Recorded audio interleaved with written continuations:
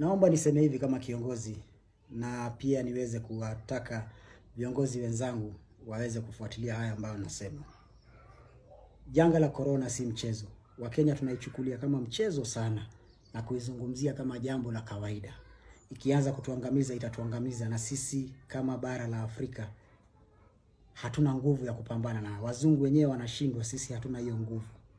Nataka kuambia viongozi wanaofanya siasa na korona wawache.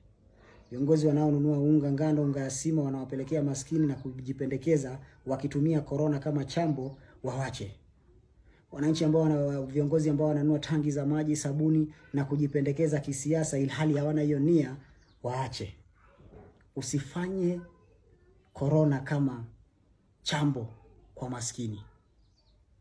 Kama kweli unawajali hawa watu, turudini katika bunge la taifa haraka, tuweze kushurutisha serikali ya taifa kuweza kuweka mikakati maalum.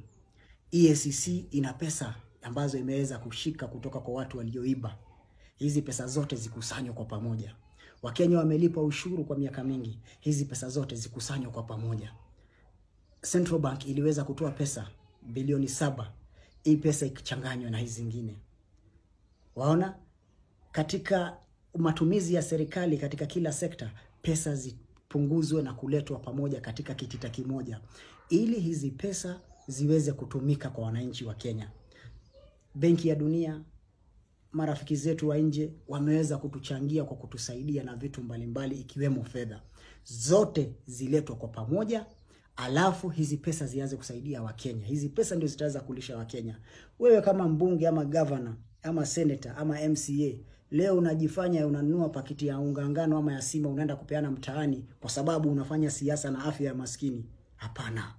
Utaweza lisha hawa watu kwa mwezi moja ama mbili mtawalia, wapo ugonjwa utatuzidia? Hautaweza. Tuache uongo. Mimi najua sitaweza lisha hata kwa siku kumi, kwa sababu eneo bunge langu lina watu laki tatu. Siwezi lisha watu laki tatu hata kwa siku kumi. Tusidanganyane na tusifanye siasa na maisha ya maskini. Turudini tuhakikishe ya kwamba hizi pesa zote kutoka EACC, kutoka KRA, kutoka Central Bank, World Bank, hizi pesa zote hizi zetu zote tunazo za fund tofauti tofauti zipunguzwe na ziletwe kwa pamoja, zianze kufikia wananchi. Dawa kuwe kunapulizwa kila siku, cha, chakula maskini anapewa vile ambavyo tunaona Rwanda wanafanya. Rwanda haina nguvu kutushinda sisi Kenya, lakini wako na nidhamu, discipline ya kutosha na watu wao wanakaa kwa nyumba tuanze kufanya kama Nigeria, wanaanza kutengeza uwanja wa mpira na kujitayarisha vilivyo iwapo janga hili litakuwa kubwa. Rais Uhuru Kenyatta, hii kafyu haitafanya kazi, total lockdown ndio itafanya, na lockdown usiifanye kama huyuko tayari na pesa za kulisha maskini, kwa sababu ukifanya lockdown na maskini hana, maskini atageuka na atakula watu. Kwa hivyo fanya lockdown baada ya kuchukua hizi pesa zote na kuweka pamoja. Kufikia sasa World Bank wametoa pesa pesa fulani za Central Bank zile 7.5 billion ziko, lakini hatuoni hatuoni hizi pesa zinafanya nini?